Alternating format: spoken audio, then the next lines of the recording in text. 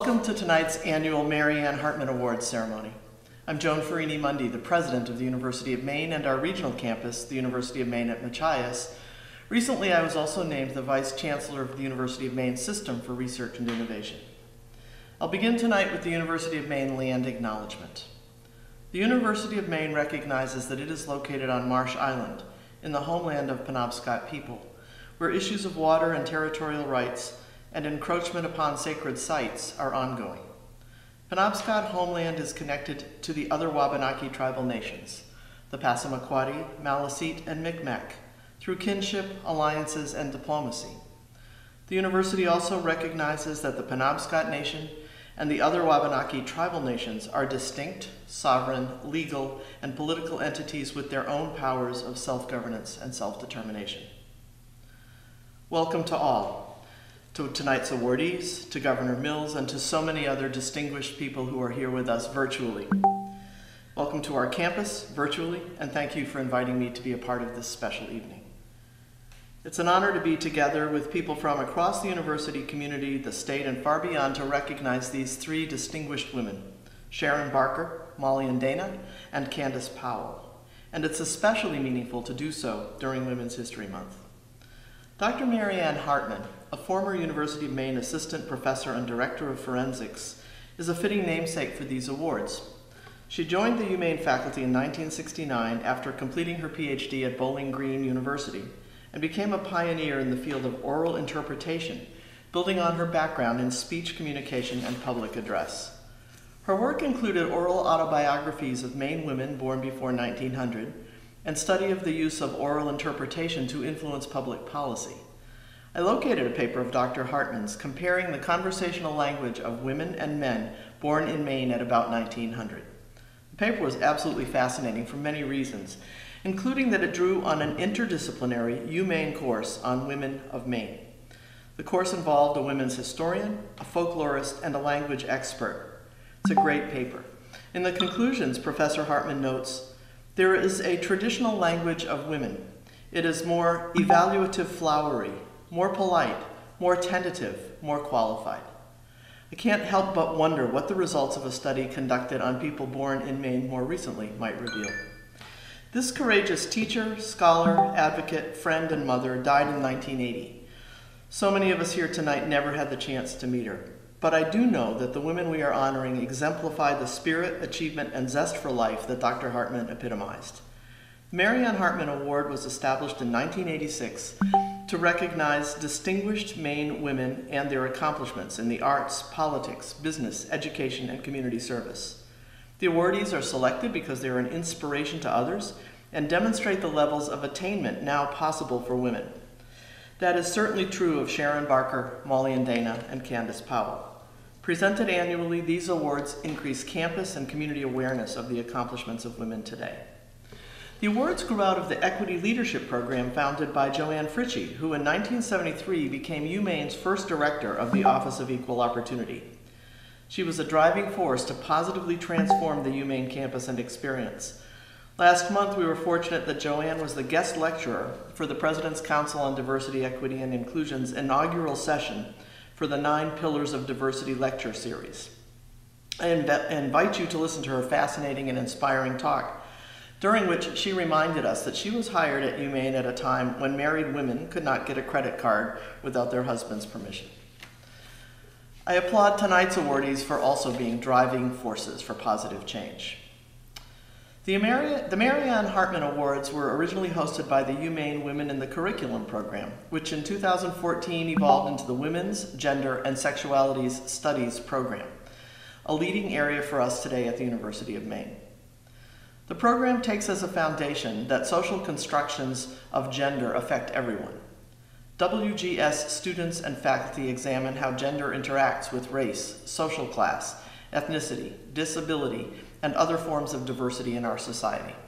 The paper I read, written by Professor Hartman 45 years ago, takes up some of those very interactions. Anne Schonberger, a professor of mathematics, who was a founder and later director of the program, mentored me in my early career stages because of our shared interests in women and mathematics, long before I had any idea of coming to UMaine. At UMaine today, women's status is strong. Women comprise 49% of the student body, including 38% of students enrolled in the STEM fields, as well as 47% of faculty and 48% of administrators. We also know that in the larger society and at UMaine, much remains to be done. Research shows us that the COVID 19 pandemic has compounded challenges for women and racial and ethnic minority groups. The pandemic has deepened inequalities that exist, including with regard to health and economic security. The killings of George Floyd, Breonna Taylor, Taylor, and so many others, as well as the horrific killings earlier this month in Atlanta of women of Asian descent, compel us to act. In June 2020, I appointed the President's Council on Diversity, Equity, and Inclusion to promote UMaine and UMaine Machias' commitment to diversity, equity, and inclusion, to advise campus leadership, and to report on institutional efforts and actions to ensure inclusive excellence. In December, the Council submitted a comprehensive report with 45 recommendations to address systemic racism and inequality. We're focused on prioritizing and instituting these recommendations so that we can move forward to a transformed culture with inclusion at the core. Back to tonight. This year is only the second in the 35 year history of the Maryann Hartman Awards that all three recipients are University of Maine alumni. So John Diamond, the University of Maine Alumni Association president and CEO, has offered to co-host this celebration and to include an awardee panel discussion about how their UMaine educations influence their lives of public service and activism. On behalf of the University of Maine, the Women's, Gender, and Sexuality Studies program, and the Alumni Association, I thank and congratulate Sharon Barker, Maulian Dana, and Candace Powell for their extraordinary leadership and their impact and for being in Maine. And I thank each of them for being such wonderful models for all of us and for so many more. Good evening, everyone. I'm John Diamond. I'm the president and CEO of the University of Maine Alumni Association. We're pleased to be a co host of tonight's celebration. As many of you know, the event was scheduled to take place in person in Orono a year ago. Unfortunately, but unavoidably, we weren't able to get together last March to celebrate the 2020 Maryann Hartman awardees. The in person interaction between honorees and attendees has always been an enjoyable part of the event. And while YouTube is an inadequate substitute for face to face engagement, it does not in any way lessen the prestige of the awards nor the accomplishments of the award recipients. Dr. Maryann Hartman was a remarkable and respected champion of education, equal rights, human rights, and social justice. She was a determined advocate, and that's one of the many commonalities this evening's honorees share with her. All three, Sharon Barker, Maulian Dana, and Candace Powell, are tireless advocates, leaders, and difference makers. Maine is a better place because of their work. I should also note that all three honorees are UMaine graduates. So is Claudia Cummings, the 2020 recipient of the Sharon Barker Student Activist Award, which she will receive tonight. And the fifth honoree this evening is on her way to becoming a UMaine alumna. She's Neely Raymond, a current UMaine student whose 2020 high school essay will be recognized in a few moments. We are proud of all of tonight's award recipients each one models qualities, values, and attributes that we at the Alumni Association embrace and promote to use advocacy to advance educational opportunity, civic engagement, public policy, equity and inclusion, and social justice. Congratulations to all of you, and thank you for furthering the spirit and legacy of Dr. Maryann Hartman. Good evening. This is Laura Cowan speaking. I am director of the Women's Gender and Sexuality Studies program at the University of Maine. Our program initiated these awards in 1986 to honor Maryann Hartman, Associate Professor of Speech and Communications. There were very few women faculty members when Hartman was hired in 1969 and still few when she died in 1980. Reliable records of women faculty numbers at the University of Maine do not exist until the 1980s But this graph of tenure track faculty and full professors at the University of Maine in 1984 reveals that women made up only 14% of the tenure track faculty and only 1.5% of the full professors. In the year that the Maryann Hartman Awards were created, 1986, there were only four women full professors at the University of Maine. Sexism was common. Although there were talented women in many fields, women received little attention for their accomplishments and were rarely awarded prizes. For example, of the 85 Nobel Prizes for Literature awarded between 1901 and 1986, only six, or 7%, were awarded to women. Women fared only slightly better with the Nobel Peace Prize. Between 19 and 1901 and 1986, seven women, including Jane Addams and Mother Teresa, received a Nobel Peace Prize. Women lacked opportunity and recognition in the United States also. There were 966 Pulitzer Prizes for journalism in 14 categories between 1916 and 1986. 20 women, or 2%, re- received these prizes. Maryann Hartman advocated for women because of their lack of opportunities and power. Because Hartman pointed out in 1973 that there were 420 faculty positions on university committees and only 19 women, or 4% of the positions, were held by women women faculty were appointed the following year to the Presidential Search Committee, the Grievance Committee, and the Council of Colleges Committee.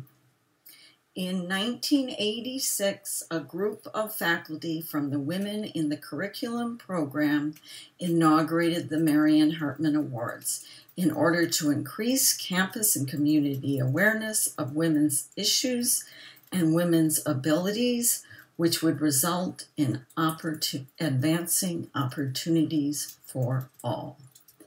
It worked.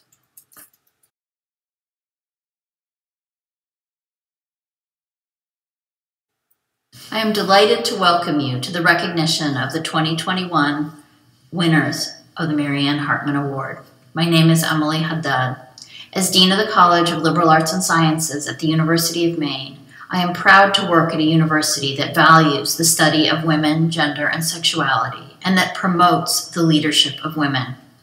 A university that values the achievements of women as activists and advocates, as professionals, as people who have, nevertheless, persisted.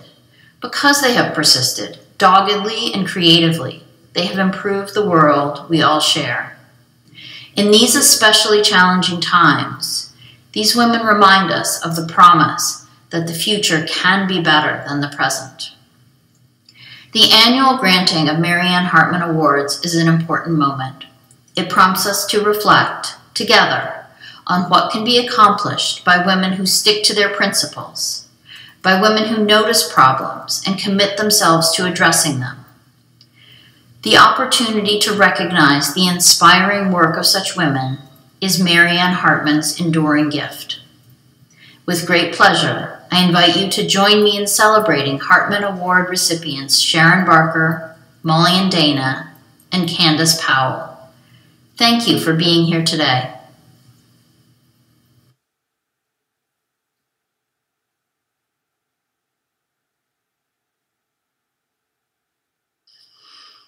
Hello, this is Governor Janet Mills. Soon we may all be together again, I hope. But in the meantime, it's my honor to join you virtually to celebrate Candace Powell, Maulian Dana, Sharon Barker, and the contributions that strong women like them have made to the state of Maine every day.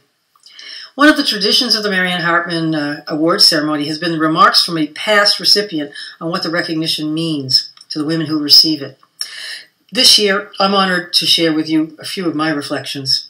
Five years after I was honored to receive the Maryann Hartman Award. By celebrating high achieving Maine women, the Maryann Hartman Award inspires the next generation of women leaders to accomplish great things. And since the awards were first handed out 35 years ago, we have made such great progress in advancing the equality of women and girls in Maine. Almost half of the Maine legislature now are women. More than half of my cabinet are women. Nine out of 15 cabinet members, women, strong, intelligent, forward looking women on whom I rely every day for wise counsel. We have so much to celebrate. We also have a long way to go. The COVID 19 pandemic has exposed some unacceptable inequities in our society, and women, people of color, and women of color in particular have been most harmed during this pandemic. I am committed to leading Maine through a recovery that results in a more welcoming state, a state that better serves and supports all people to realize their full potential. I thank you for your partnership in this important work. And tonight we celebrate individuals, but ultimately we're celebrating a community of strong women across the state, some well known to us and others quietly leading in their own way, in their homes, in their workplaces, in their own communities. And others who respect them and follow them, cheer from them, and are willing to learn from them. It is because of the growing strength of that community that I am more optimistic, more optimistic than before about our future. And I congratulate Candace Powell, Maulian Dana, and Sharon Barker on this well-deserved honor. I thank the University of Maine for carrying on Maryann Hartman's legacy of celebrating distinguished women leaders in Maine. Thank you.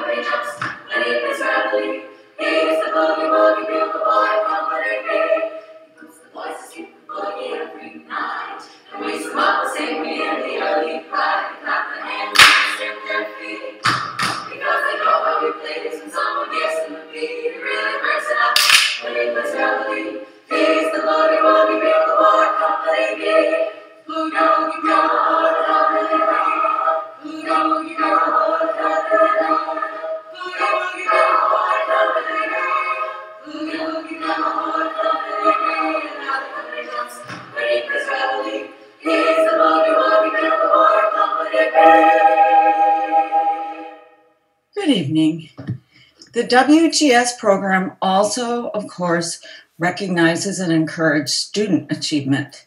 Tonight, we have two award winners. The Sharon Barker Student Activism Award annually honors a current University of Maine student who exemplifies a passion and commitment to human welfare and social change. The 2020 award went to Claudia Cummings, who was a senior in social work. Claudia's community engagement while at UMaine included the Wabanaki Center, the Take Back the Night event, New Education Women's Leadership Program, the Red Cross, Maine Health Equity Alliance, Planned Parenthood, and the State of Maine's Legislature's Health and Human Services Committee. She has also shown courage in the face of injustice and at risk of herself in initiating a Bureau of Indian Affairs investigation into police abuse of power. Our other student prize winner won a scholarship while in high school. In 2019, WGS graduate assistant Amy Coleman oversaw the University of Maine's Maryann Hartman High School Feminist Essay Contest. I am happy to report that Neely Raymond, who won the scholarship for an essay on Edna St. Vincent Millay, is now a successful English major at the University of Maine. English professor Caroline Bicks reports that Neely is not only an exceptional writer and thinker, she is a generous and optimistic presence. I worried about teaching Shakespeare virtually, but Neely's Introduce Yourself to the Class video gave me hope. In a mere two minutes, she reassured us that she had enjoyed her Zoom discussions in her previous classes, put in a plug for the Performing Arts Department's um, production of Twelfth Night, and introduced us to her puppy, Mitzi. You will also hear from Neely. In high school, I knew I wanted my career to be something that would allow me to make a difference in the world, whether it be local, state, or national. While in college, I felt the need to just leave the state and explore the city life that would be full of new experiences and diversity. Just over two years ago, I started working for my community's daycare, the Penobscot Nation Child Care Center. This position pulled me back into my own community where I learned the importance of local activism. Since then, I've gained a lot from the University of Maine, and especially from the School of Social Work. There, I was pushed to look at my own biases and strengths, but most importantly, I gained a mentor, Professor Dr. Robin Russell, who has pushed me to do things I never thought were possible. She pushed me to apply to attend the Maine National Education for Women's Leadership, where I met several amazing people around the state. Robin also pushed me to do my senior field placement with former state senator Geoffrey Gratwick, where I learned the ways of the Maine legislature. Robin asked me to manage her campaign this past summer while she ran for the State House of Representatives for District 103. We learned together how to run a campaign and how to engage with constituents during a global pandemic. This past summer, Robin encouraged me to run for the Penobscot Nation Tribal Council. I didn't think I would win because of my age and life inexperience. But to my surprise, my motivation, new perspective, and community engagement paid off. I was elected to the Penobscot Nation Tribal Council August 12th of 2020. I won the Shannon Baker Student Activism Award in March of 2020 for participating in activities such as volunteering in the 2016 election for the referendum for tighter gun laws in the state of Maine, protesting former President Donald Trump at his Bangor rally, and volunteering for Planned Parenthood and the Red Cross.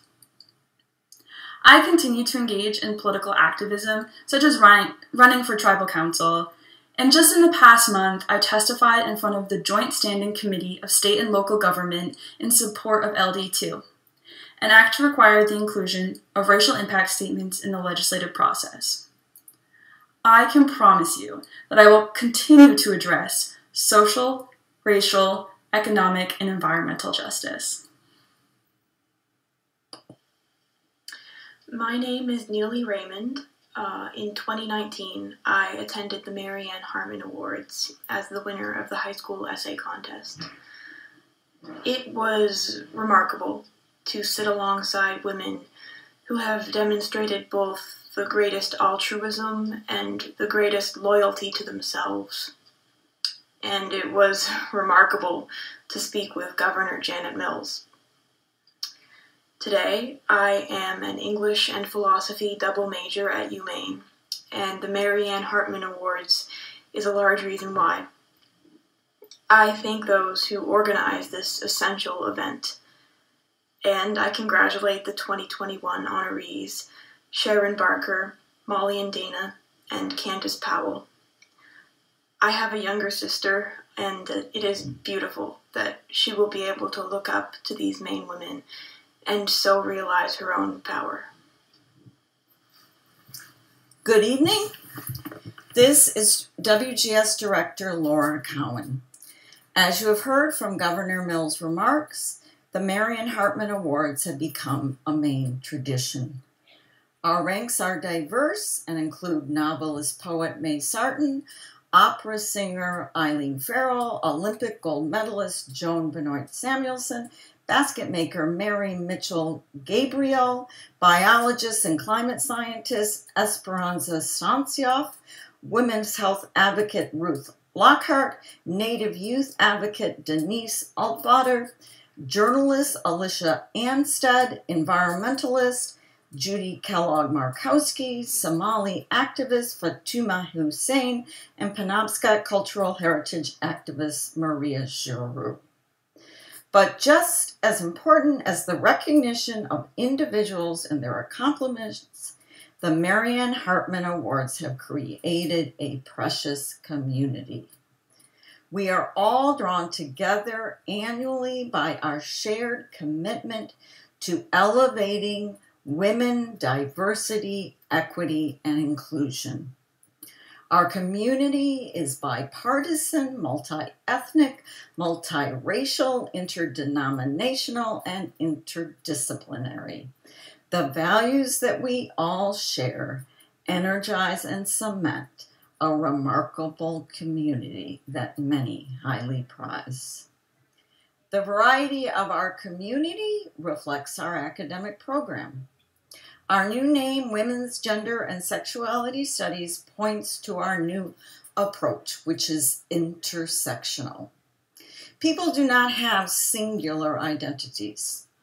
Intersectionality refers to the simultaneous experience of categorical and hierarchical classifications, including but not limited to race, class, gender, disability, sexuality, and nationality. It also refers to the fact that what is often perceived as disparate forms of oppression, like racism, classism, sexism, or xenophobia, are actually mutually dependent and intersecting in nature, and they compose a unified system of op- oppression. Our program's intersectional perspective is a context for our celebration of our three awardees. Maryann Hartman awardees' achievements cannot be denied. The challenges that still face us are also undeniable. The coronavirus pandemic and its consequent economic crisis have revealed not cracks, but indeed fissures in our social fabric. Different populations have been disproportionately affected by the hardships. According to the CDC, African Americans, compared with all other racial ethnic groups, are more likely to contract the coronavirus, be hospitalized for it, and die of the disease. This disproportionate rate of coronavirus deaths occurs during a sustained period of police violence against Black people. Between 2015 and 2020, Black Americans, who account for less than 13% of the U.S. population, were killed by police at more than twice the rate of white Americans. Hispanic Americans are also killed by police at a disproportionate rate. Women have been disproportionately affected by the coronavirus crisis. Although previous economic downturns hit working men hardest, working women are currently experiencing the worst effects of the COVID 19 recession. 80% of all employees who left their jobs in January were women. Women's role in the workforce is now at a 30 year low.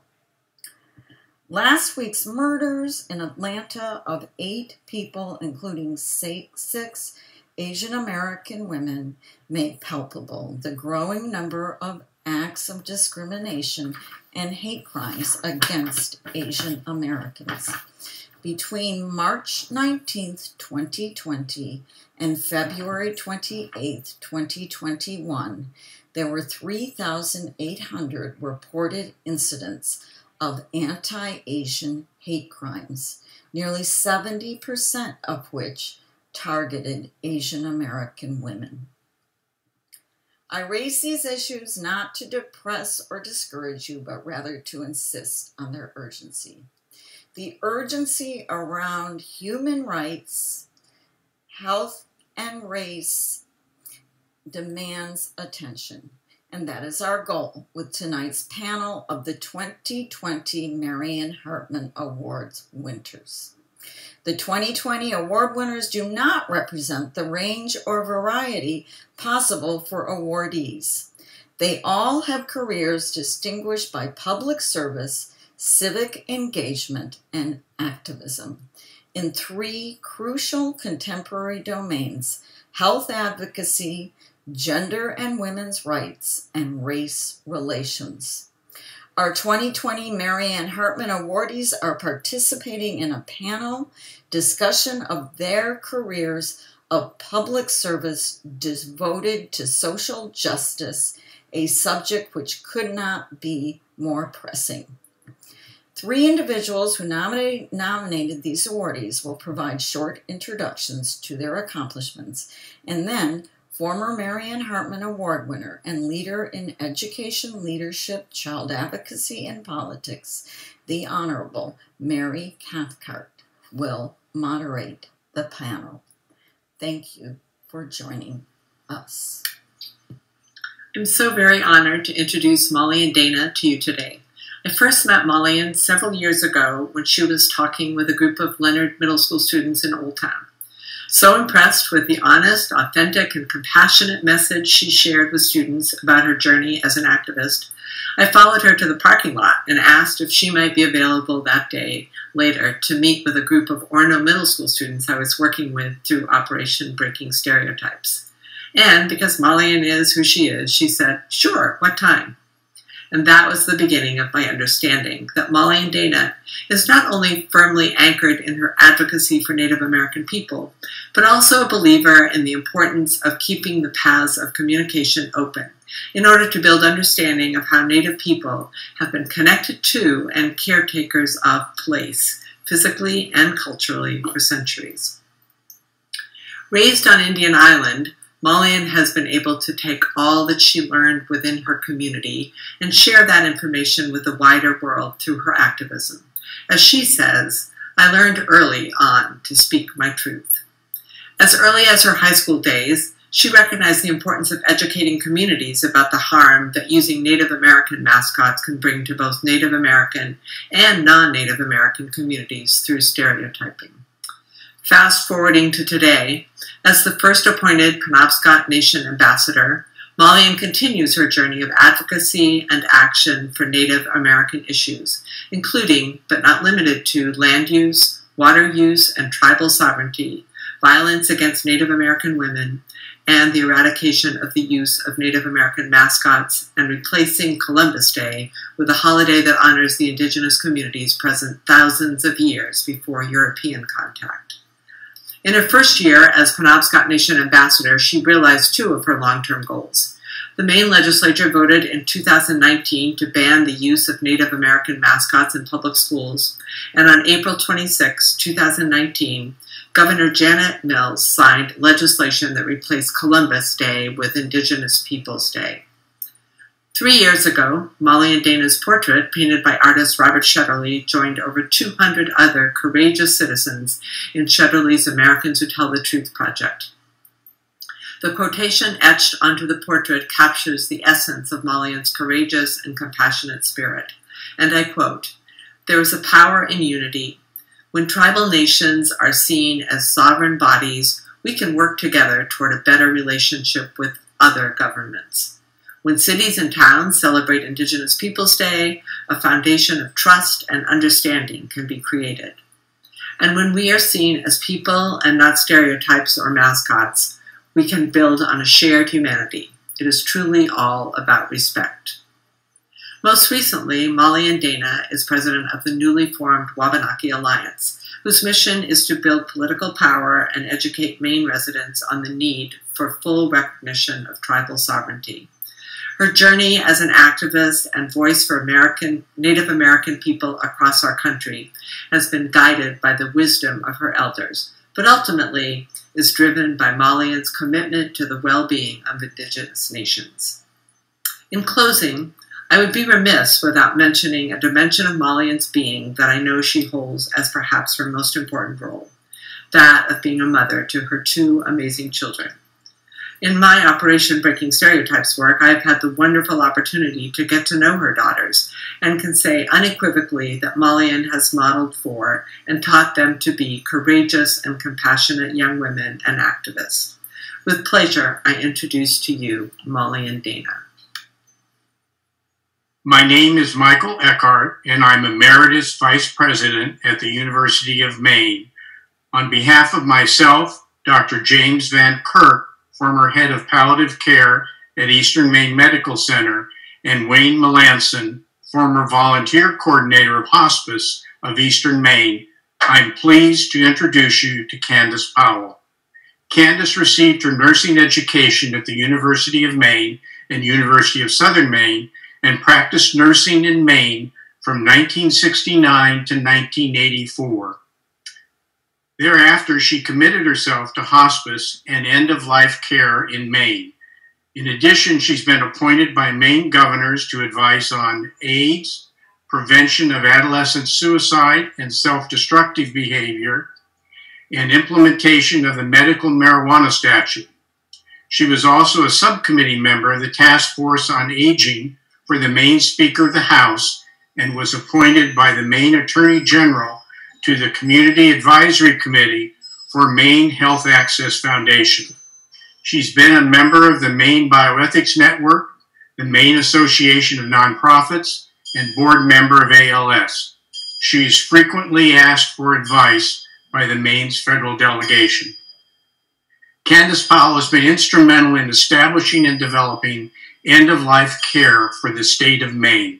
She's achieved this by innovation, advocacy, education, collaboration, and mentorship.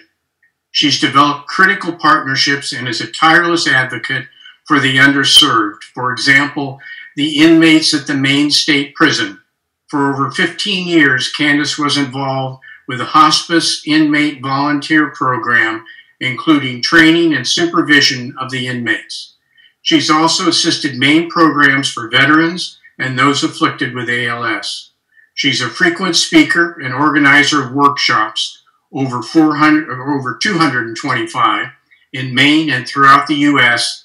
on topics related to end-of-life care. She co-drafted the Maine Hospice Licensure Bill. She's been the executive director of the Maine Hospice Council and Center of End-of-Life Care since 1992 which is funded annually by the Maine state legislature out of general funds. She's an active advocate for palliative care and for physician orders for life sustaining treatment or POLST. Candace Powell has devoted herself to discussing death, dying, and bereavement in Maine, the nation, and internationally. These are topics that most of us are uncomfortable discussing, but will touch every single one of us. Thanks to Candace for providing a forum for these discussions in Maine, especially for the underserved. It has been a personal privilege to know and work with Candace Powell, and she exemplifies a recipient of the Maryann Hartman Award. Hello, everyone. I'm Susan McKay, Director of the Maine Center for Research in STEM Education at the University of Maine and a professor of physics here. It's a pleasure for me to introduce Sharon Barker, a wonderful colleague and friend, and one of the recipients being honored here with the 2020 Maryann Hartman Award. Sharon epitomizes both the inspiration and the achievement recognized by this award. I got to know Sharon when she was the director of the Women's Resource Center at the University of Maine. She and I have had parallel and very cross linked careers for decades and many wonderful, wonderful conversations. She always brought expertise and understanding to the world in which I have taught and conducted research, the world of women faculty in an underrepresented field, such as my academic home, physics and astronomy. Sharon in her career has contributed to women and girls' lives in so many ways. She's been a leader in women's health, in supporting women at the University of Maine and in other workplaces, in opening non traditional career opportunities for women, and in helping girls build their sense of strength and independence, setting the stage for future accomplishment. Long before community engagement became a common topic of conversation on campuses, Sharon was building the networks and convening the groups to bring together problem solver, solvers across stakeholder communities. She understands that inequities toward women need to be addressed at a systemic level, not by retraining individual women in how to cope with them. There is no job description that can capture Sharon's reach and understanding around these issues. She has brought to her work holistic knowledge of our healthcare, our safety, our work, and how they are all connected. She has always been a visionary in this field, respected by and often far out ahead of national leaders. For example, she was one of the first to recognize the patterns of treatment received by women faculty in underrepresented fields. The isolation, but also high visibility combination that is so prevalent and so challenging. As the Women's Resource Center director, she always spoke eloquently and convincingly of the interwoven, multifaceted aspects of gender work she connected the data and the stories using her influence to build a diverse and powerful team of advocates and refusing to take the easy, popular route of promoting a single isolated activity as the solution. The pandemic has shown us that the inequities and challenges for women are still to be solved. Sharon, with all that she has accomplished, inspires us to bring a renewed commitment and passion to issues of gender equity within our own sphere of influence. We cannot fall into complacency about this work since there is so much left to do. I extend to her my sincere congratulations as her accomplishments are recognized through this distinguished award, and I look forward to hearing her thoughts in the upcoming panel.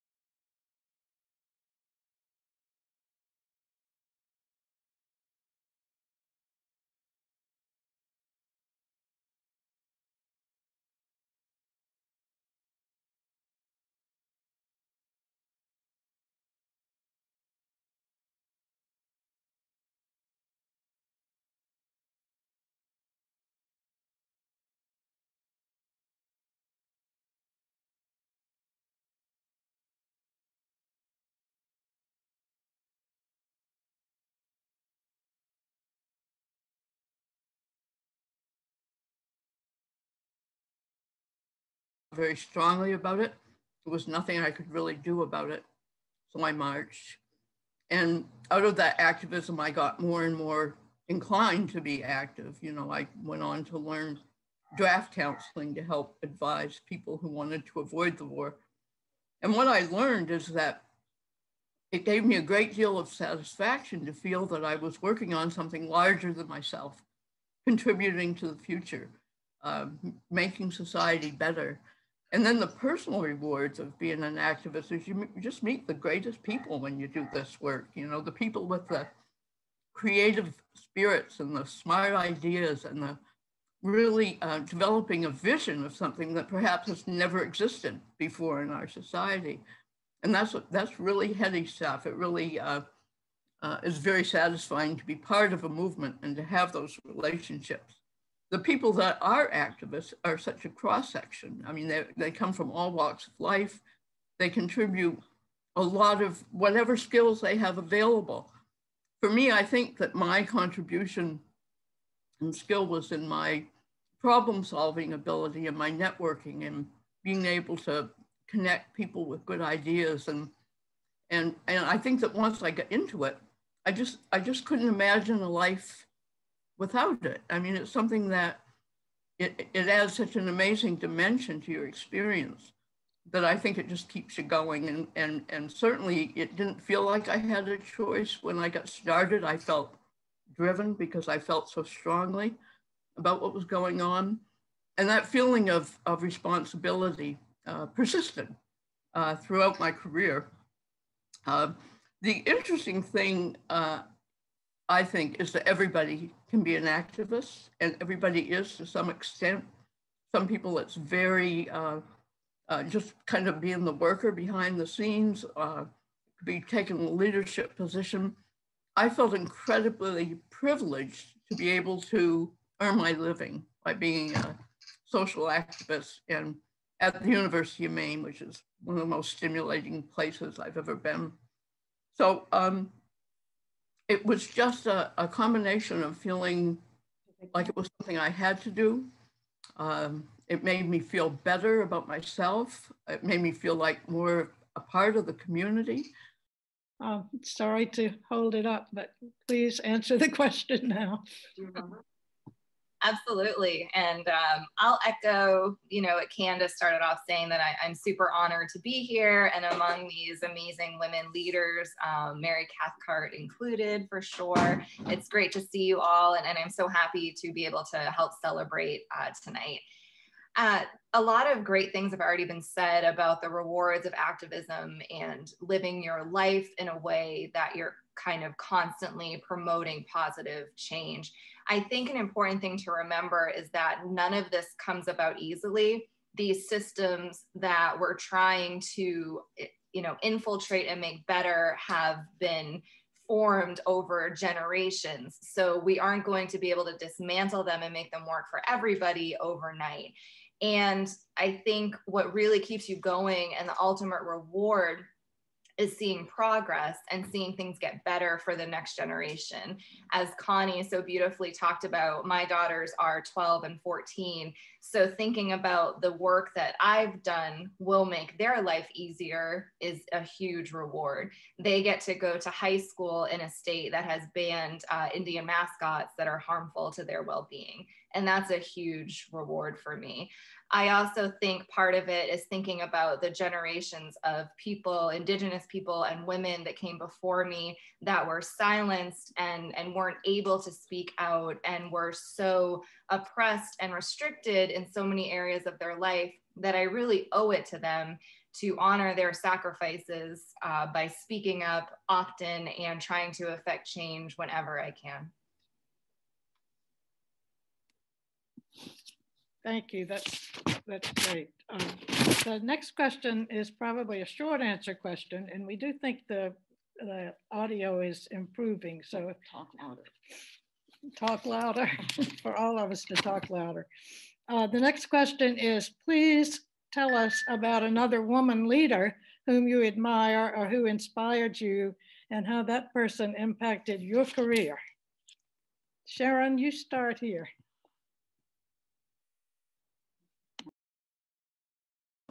okay. Um, that has to be Mabel Wadsworth. Um, Mabel hired me. I was driving taxi in Bangor um, at, you know, $4 a day, basically, when I applied for a job at Family Planning.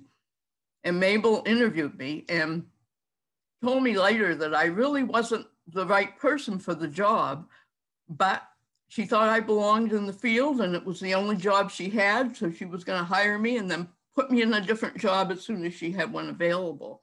And that's what she did. I started in family planning and I worked for 10 years in family planning. And I moved very quickly from an outreach worker to a, a clinical worker, uh, working under the first nurse practitioner in the state that was trained to do nurse practitioner work, thanks to Mabel. Then 10 years later, when um, the poli politics were getting really difficult for family planning, Mabel and I and, and Terry DeRozier and Ruth Lockhart and Phil Worden decided we needed a nonprofit feminist health center in the area. And so we set about to create the Mabel Wadsworth Center. And Mabel graciously um, allowed us to use her name uh, because not only did it bring a great deal of prestige, but a lot of her values about the importance of women's community and uh, the empowerment of women were really standards that we wanted to achieve in the, in the development of that. So Mabel was a close friend and mentor for a long, long time. And, and uh, I really am grateful that she hired me, even though probably wasn't the smartest thing uh, for the job that was available.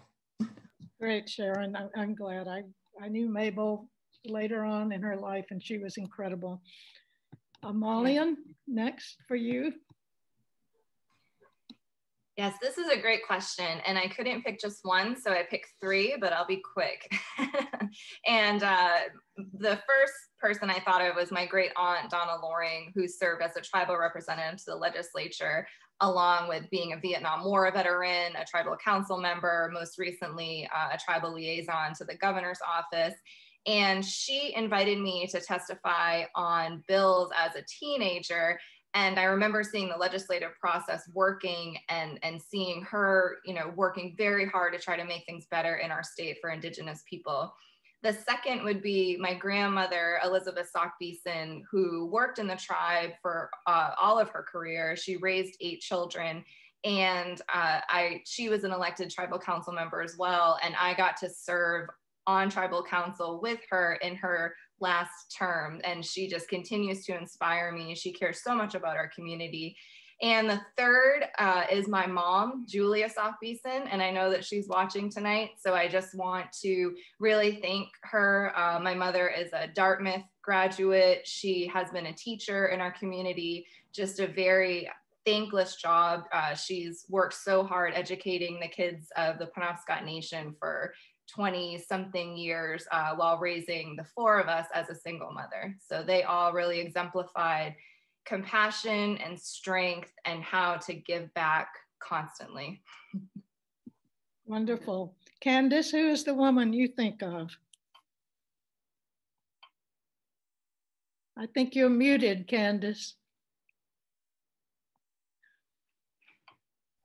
As with Molly, and it was hard to choose one.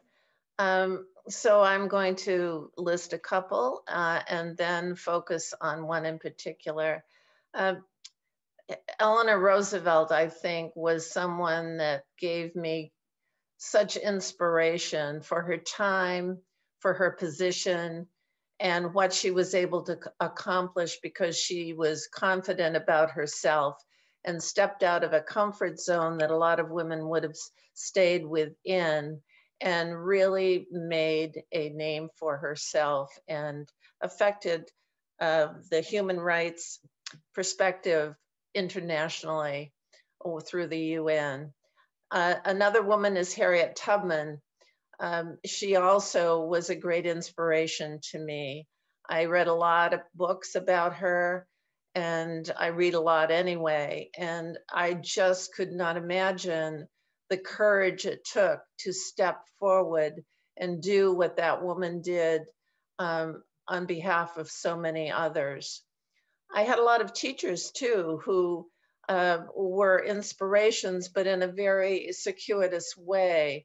Um, and but I've always told my students that you can learn a lot more sometimes when things don't go well, and when people tell you certain things that hurt you to your core, because it's not always you, you always don't remember what someone said or what someone did, but you do remember how they made you feel. And when you become an adult, you do not want to make other people feel that way, if at all possible. So I learned a lot in a very circuitous way from some of my teachers. But the one person that I think I learned the most from, and not someone older than I am, but someone younger than I am, and that's my daughter. And I mention her because she taught me so many things when she was growing up. She taught me how to be a better mother. She taught me how to be a fierce advocate for young people. She taught me really the rudiments of advocacy work, although as a young person, I uh, did a lot of it in high school. So, but my daughter, I want to recognize her, and I hope she's listening right now because she has such a strong spirit, such tenacity. She's a very bright young lady, and a lot of her friends look to her for comfort and support because she has such an incredible spirit. And I want to thank her. Those are all wonderful answers, and there are so many women that uh, we all admire. I could certainly name them off and would have trouble narrowing that down to one or two or three. Uh, we are going to ask, because of, in the interest of time, and we want to leave time at the end for questions and answers from the audience today. So if you can try to hold your answer down to one piece of advice that you would offer to other women seeking to make meaningful social change and everybody uh, take about no more than three minutes if we can, because we have a few other questions if we really want to leave time for others to throw their questions at us. So Sharon, would you like to take off on that one? Um, same piece of advice I always give is uh, embrace contradictions, um, pay close attention to seemingly contradictory ideas and truths. Um, activism has to do with power, redistribution of power. Nobody gives up power voluntarily. Uh, and, and frequently people look for simple answers to very complex questions. And a lot of the questions we're trying to solve are unique to our time. And so we really have to think outside the box. Um, everyone believes in their own sincerity. And so I also encourage people to beware of good intentions because people tend to think of things within their, the context of their own lives. Uh, and many of the problems we face today are systemic. And it isn't just one simple factor that we need to worry about. So listening to people who are, who are potential allies or even adversaries to see if there's any common ground, to see what the issues are, but to, but to beware of the tyranny of nice and kind. It's good to be kind, but it's not good to be uh, as Oprah would put it, um, um, the need to please disease. Uh, we need to stand up for what's important. We need to speak our truth. Um, people do not distinguish between individuals and systems, and that makes it very, very difficult to get into a complex conversation. But it is the complex situations, uh, conversations that we need to have in order to figure out what we have to do. So that's what I say. Embrace contradictions and beware of good intentions. Thank you, Sharon. Candace? Oh, so I usually don't uh, don't give advice, but I offer suggestions. So that's what I will do here. And I will I would encourage anybody who's interested in getting into social change work to be patient to not allow ego to get in the way of doing the altruistic work that we all need to um, understand and value, to learn how to be a good problem solver. Do not avoid conflict. Conflict can be very rewarding if it's handled properly. Be present, really present for the people in the communities that you're working with and learning from. And always be a student of theirs do not imply that you are coming in to fix anything for anyone else. You must be um, able to listen and listen carefully and not necessarily to the people that some people might put you in touch with, but for the people on the ground. Everyday people, real people, people that are struggling. Because what I've learned about life myself has come from my patients and from people in underserved and disenfranchised communities that have allowed me to come in to their space and their community and learn and listen from them. Wonderful. Molly, and what advice would you offer, one piece of advice to other women seeking to make the kind of social change that you have been making? I think um, speaking your truth in a way that connects with others around shared humanity is something that I found is really effective. Human beings are all driven by a few very universal things. And when you can find ways to connect on that with people, even people that you may disagree with, um, that's really powerful and uplifting. I would also say one big part of activism that I wish I could tell a younger me is to take care of yourself, um, to be healthy in mind, body, and spirit. And that's when you are at your best doing this very important work to uplift your community and everybody else. Great advice. We're going to ask one more question and then we will see if we have questions uh, submitted yet from the audience. Here we go. This is only the second time since the Maryann Hartman Awards inception that all three awardees have been University of Maine alums. Today's event is also a tribute to the University of Maine.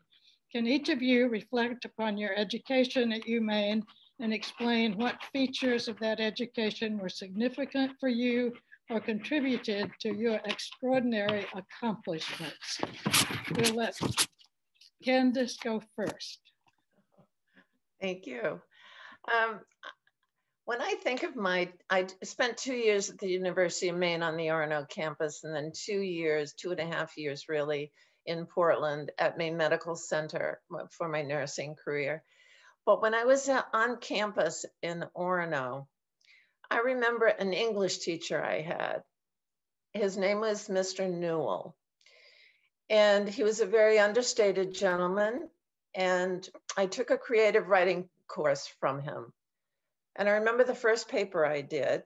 He, when I passed it in and got it back, he uh, put a note at the top of the page and he said, This was good, but, and he wrote this note for me that says, Always speak about something that's in your heart and soul and spirit.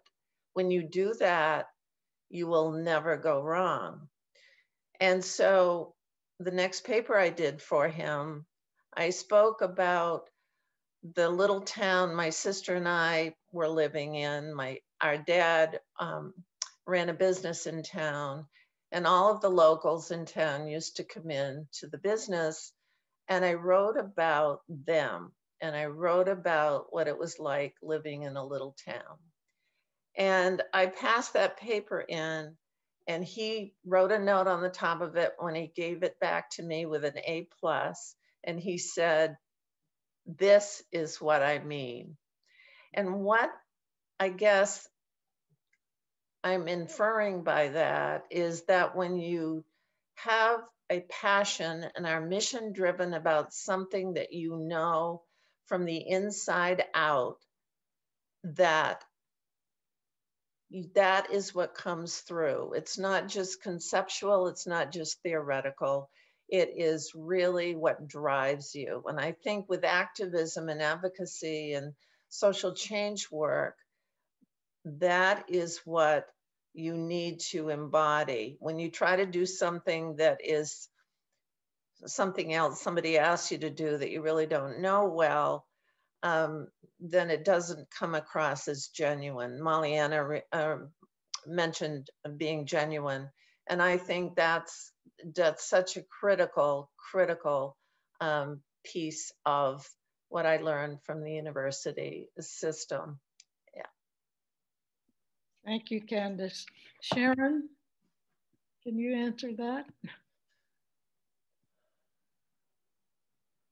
Sharon, I think you're muted. There we go. Um, I got my undergraduate degree at the University of Maine. Um, it was it was a very critical experience for me. I was an immigrant. I, my family had moved to the United States from Canada when I was eight years old, and I grew up in Aroostook County. And it just increased my exposure to so many things, um, made me braver, um, taught me critical thinking skills. I remember directly um, when Bud Schonberger in Current World Problems, I felt like, oh my God, I, I don't know what's going on in the world. I just realized that I, I hadn't been able to question authority or think things through. And it made a big difference in my, uh, just the way I saw the world and the way I saw myself in it. I got my master's degree um, because I left family planning and came back to develop some specific skills actually to set up Mabel Wadsworth Center. So I studied uh, public administration. I based all of my all of my papers were about things that I needed to learn in order to do that, if it was the assignment or not. Um, I, I uh, surveyed 40 feminist health centers around the country just to find out how they did it as a, as a basis for my thesis. And it really gave me both the time and the academic support to do that project. And then of course I worked at the university for 25 years. So it was a ongoing um, lifelong learning experience, um, stimulating environment, connections with really interesting people and, and had a major impact on my life.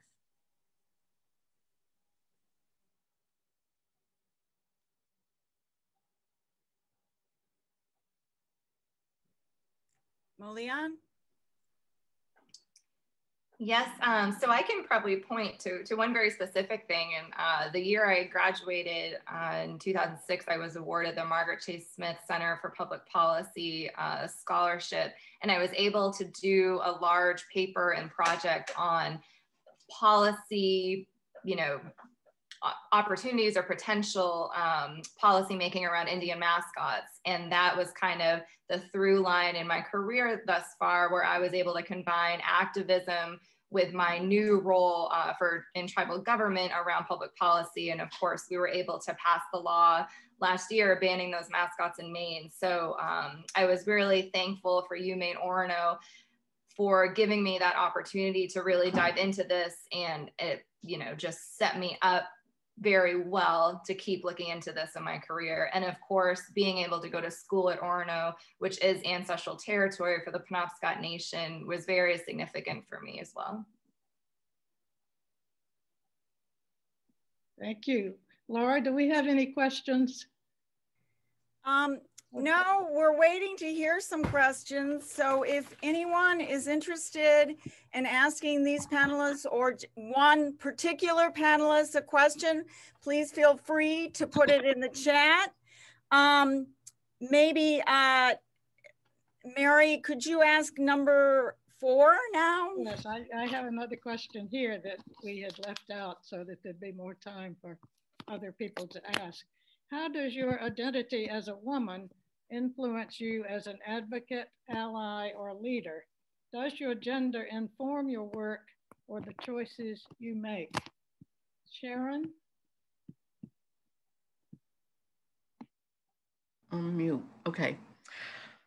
Well, I think that um, gender is such a major part of who we are and how we define ourselves. Uh, for me, the challenge was to identify those characteristics that are truly me and who I am, as opposed to traits that are imposed on me by society's expectations. and being able to sort out and, and uh, take on those things that feel positive and, and reject those things that don't. So I, I think it's really important to stay true to oneself. I always used to tell students, um, put on a good front, grow into it. You know, the more confident you act, the more the people will treat you differently and you will develop confidence in that interaction. And I think that's really important. I also think it's important to note that men and women are both very important um, parts of the change that we need to see, but the mission and what we need to do with men and women are very different. Um, I think women need to be able to claim their ego and to be and claim their confidence, and men need to figure out ways to nurture their more uh, sensitive part of themselves and just step aside. Um, and so it was really um, very important for me in my work uh, to figure out those intersections with men and women. And I really enjoyed working with both men and women. But I, I think that the uh, challenges in doing gender-based work is very different uh, for men and women. It was, it's been amazingly rewarding for me my entire life. Thanks, Sharon. Maulian, has being a woman influenced you as an advocate? Absolutely. And like I've mentioned before, I've had some really strong female role models. So I do believe I've had to work harder in my field and my career because I am a woman. But I had a great, I had such great examples to look to that I didn't realize I was working harder, if that makes any sense. Uh, I just knew that success took hard work.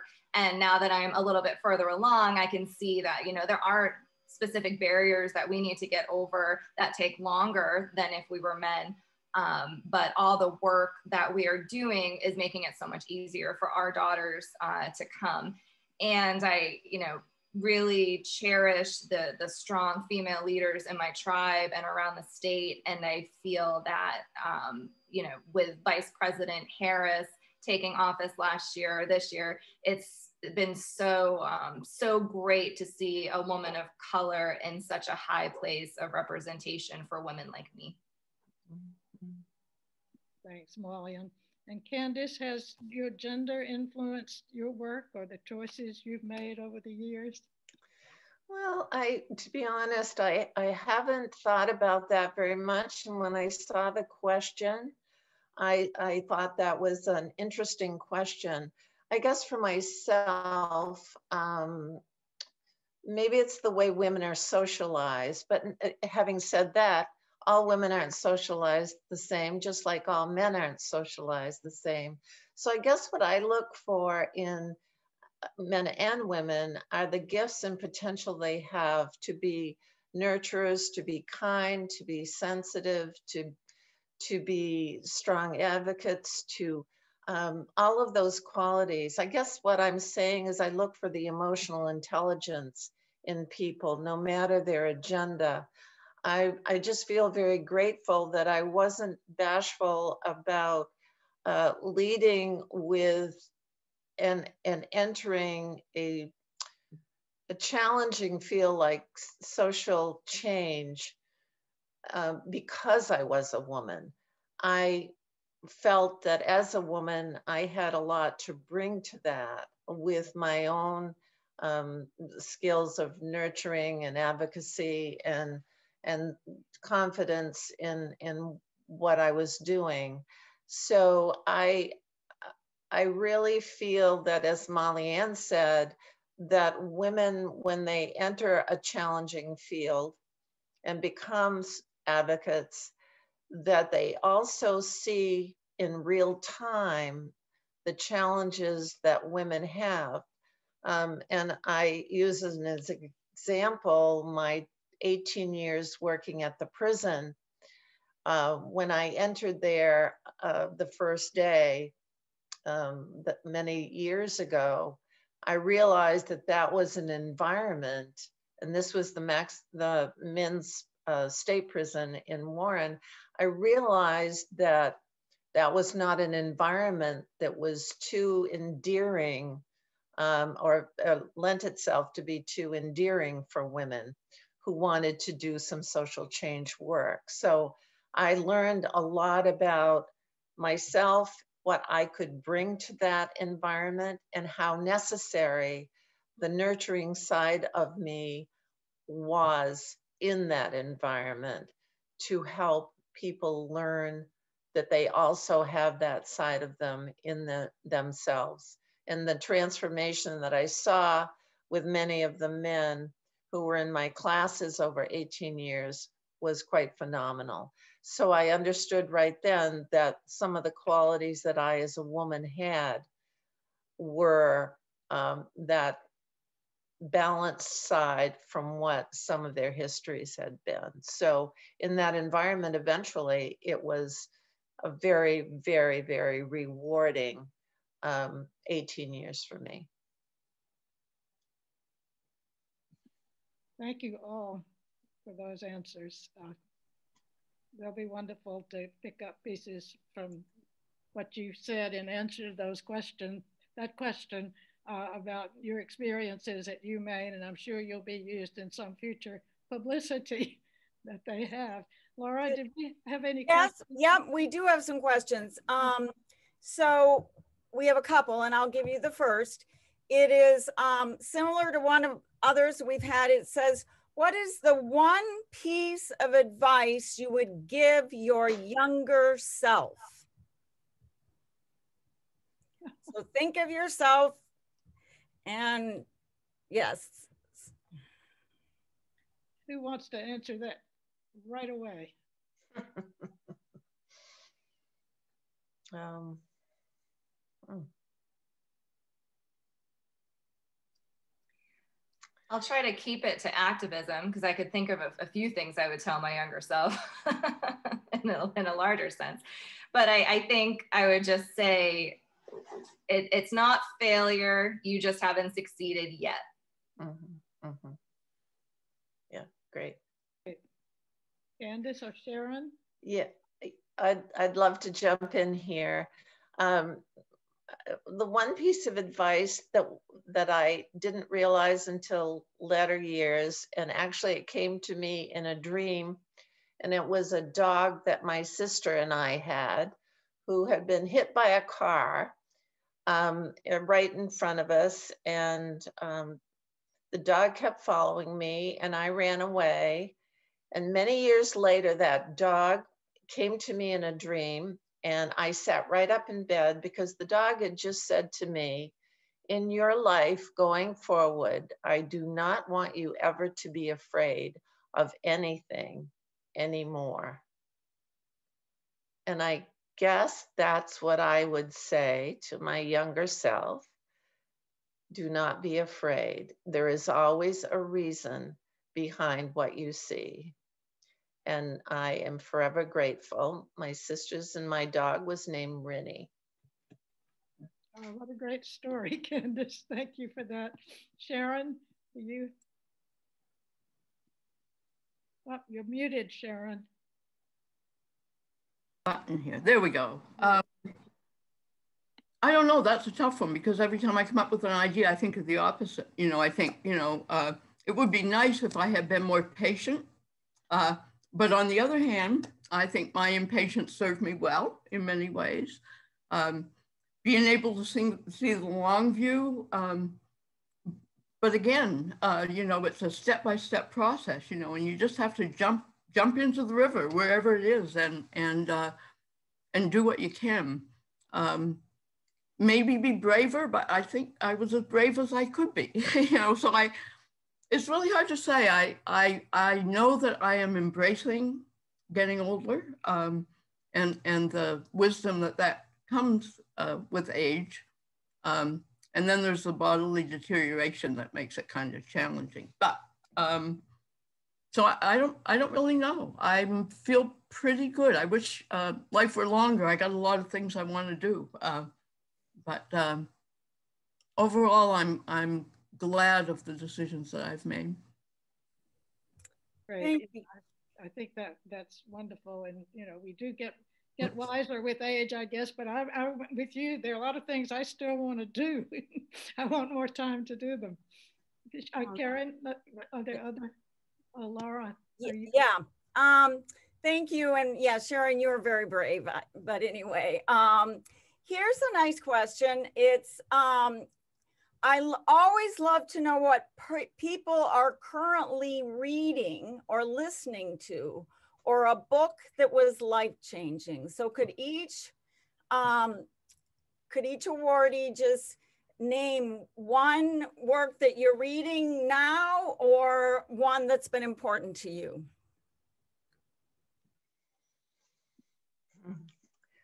Well, I'll jump jump right in here.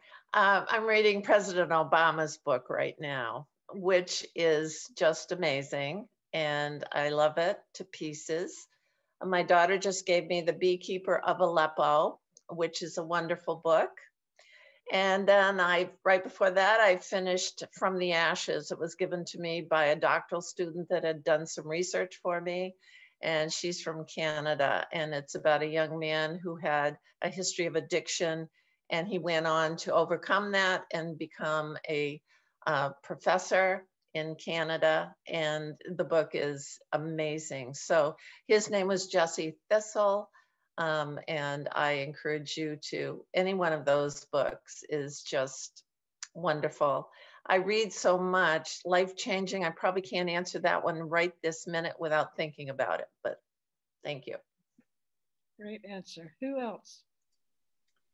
Um, I, yeah, I finished Promised Land, uh, President Obama's book last month, and it was just wonderful. It was really good. Um, I'm currently reading Reviving Ophelia, and I can't remember um, the doctor's name who wrote it, but uh, I am reading that because I am raising teenage girls in a pandemic, and it's it's very very helpful. It's it's a great book about the you know pressures and you know everything facing adolescent girls and how we protect their spirits and guide them into womanhood. That sounds great. Yeah. Sharon, do you have a book that you want to? Well, I read all the time and I like fiction primarily, but I read a little bit of everything. I just, I've just finished uh, the Thursday Murder Club, which is about people and old people in retirement um, community solving murders, uh, but it's not, it was incredibly entertaining, but not exactly life changing. But I will put in a plug for a book, Women, I received in the mail yesterday um, as a gift from Terry Moore, who was a previous Maryann Hartman Award winner. And, uh, you know, I'm, I'm really looking forward to sinking my teeth into that. I've been taking notes. I'll try to get to some of those books, but there are just so many great books to read. Laura, is there any other questions? You know what? There are some wonderful questions, but I think we need to start winding up. So Mary, I will say thank you to everyone and let you close the, the panel. Thank you.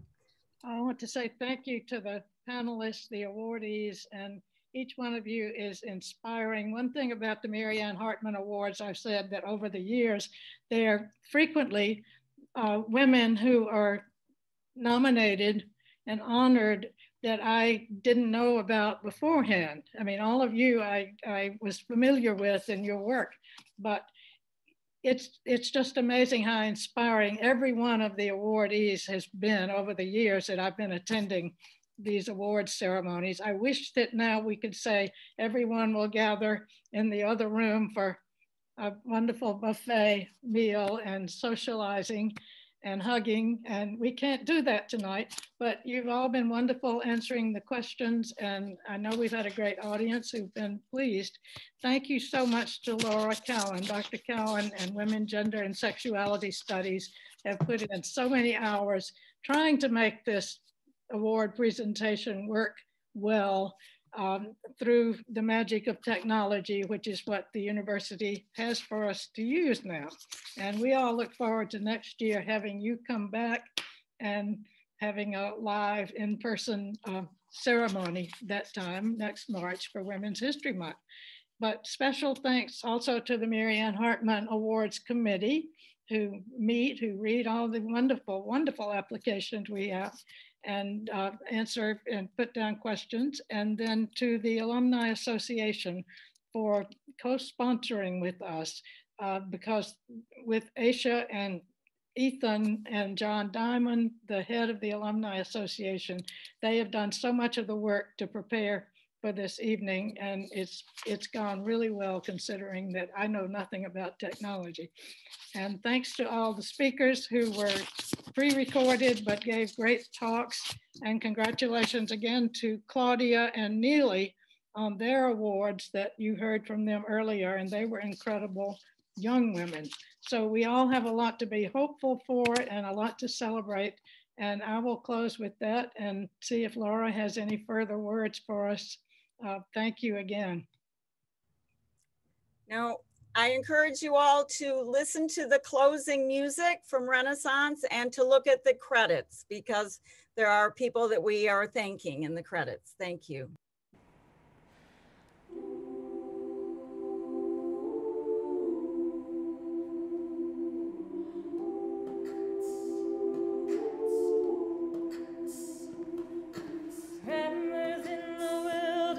But we can't find what we need. Get a little restless from the searching, get a little worn down in between. Like a bull chasing the matador, is a man to his own scheme. Everybody needs someone beside him, shining like a lighthouse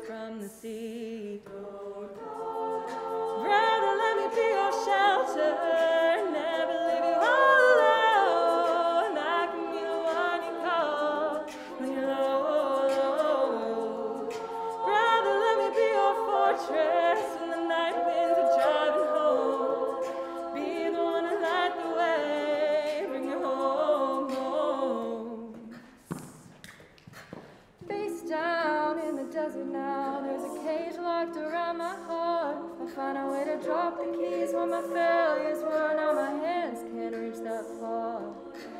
I ain't made for the rivalry. I can never take the world alone. I know that in my